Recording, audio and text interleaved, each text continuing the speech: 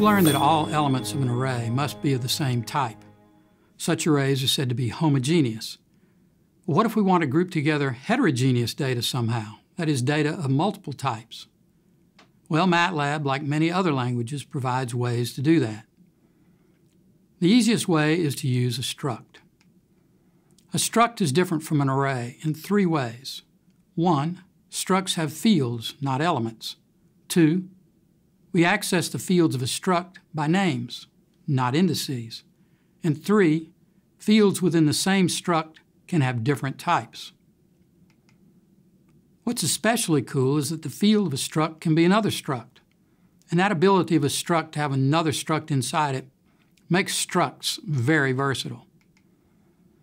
The syntax for creating or accessing the field of a struct relies on the period, or dot.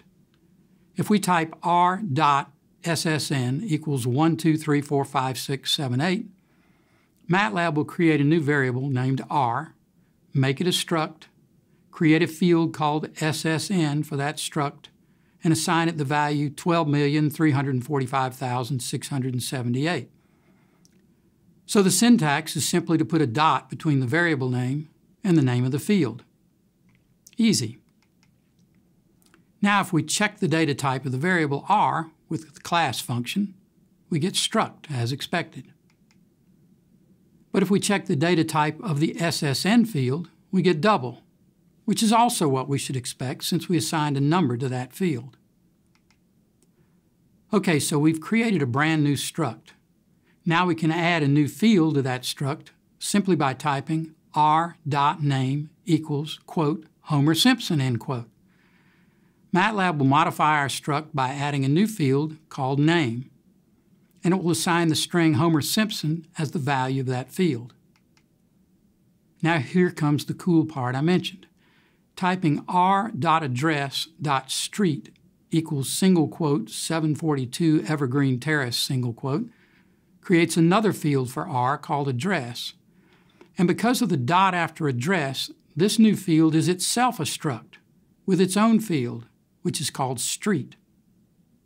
And then it assigns the string 742 Evergreen Terrace to the field street of the field address of the variable R.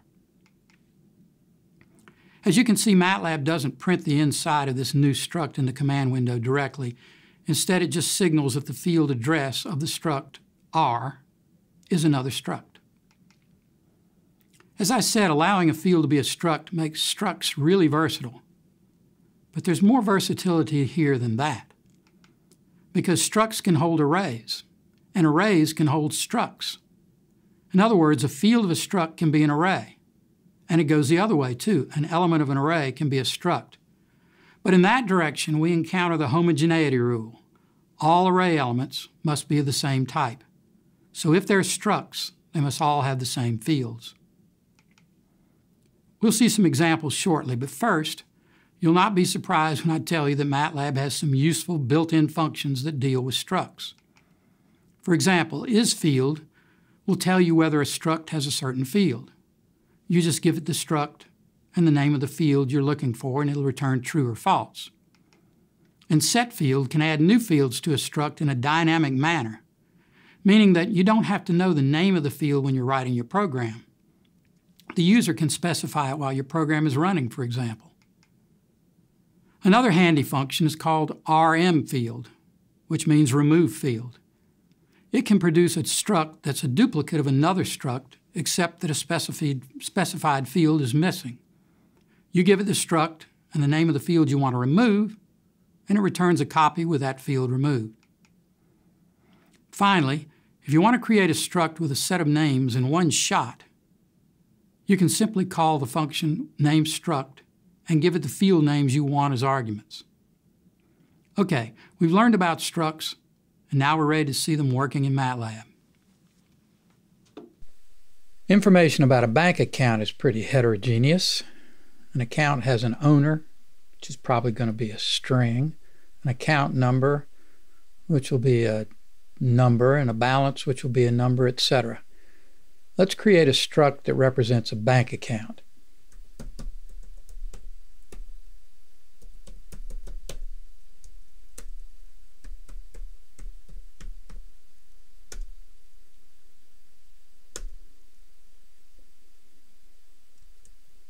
The value that we've assigned to the variable account here is a struct.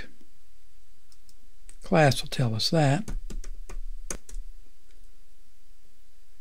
And its first two fields are doubles.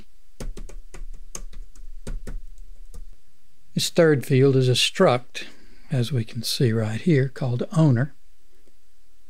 An owner has a couple of fields,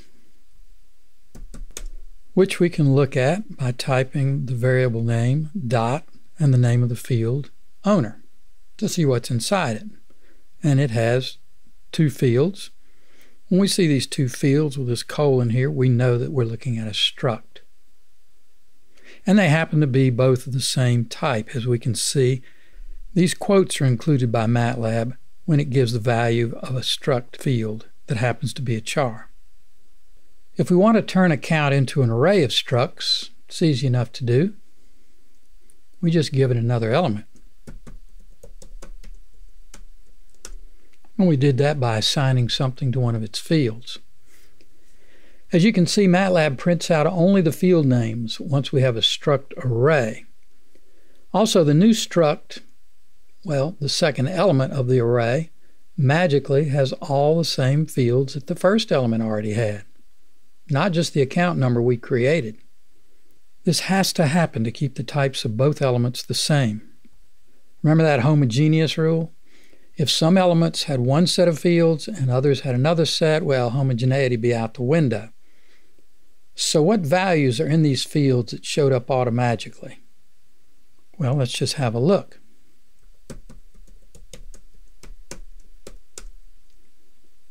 Well, they're initialized to the empty array. Let's assign values to more fields of our new struct.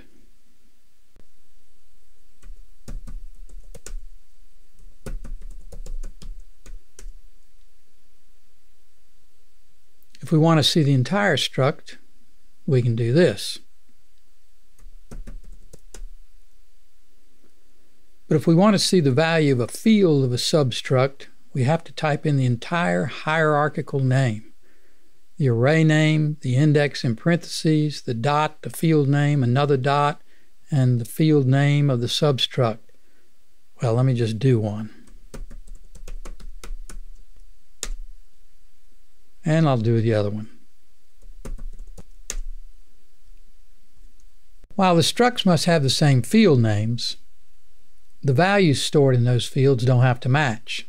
They can have different types and or different sizes. For example, the length of the strings in owner dot names are different for elements 1 and 2. Let's prove that.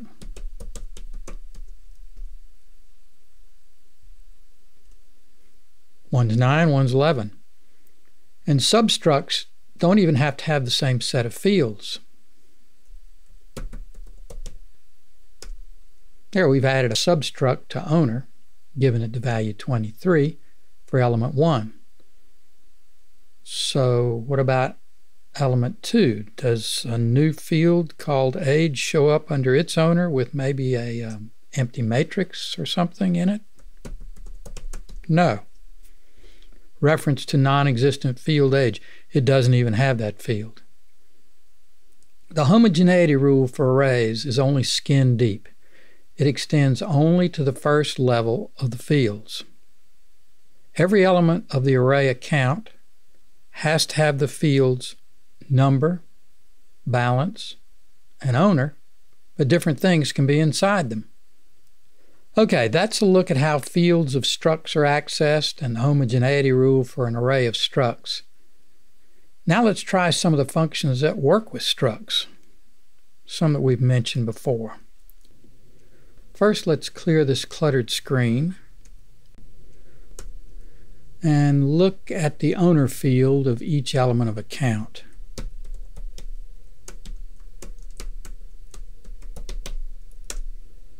putting that 1 colon 2 in there makes it show each one of these elements.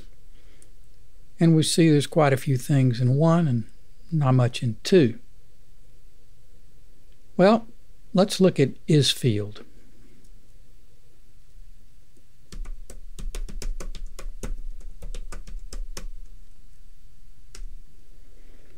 So what we see here is that is field takes this argument, which is account 2, the second one, dot owner. It looks at the field of account 2 called owner and checks to see if there's a field in there called age. Well, there's not, so it returns false or zero.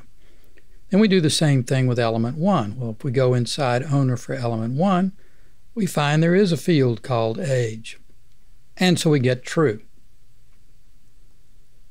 As we said, is field returns true or false, depending on whether the given structure has a field with the given name.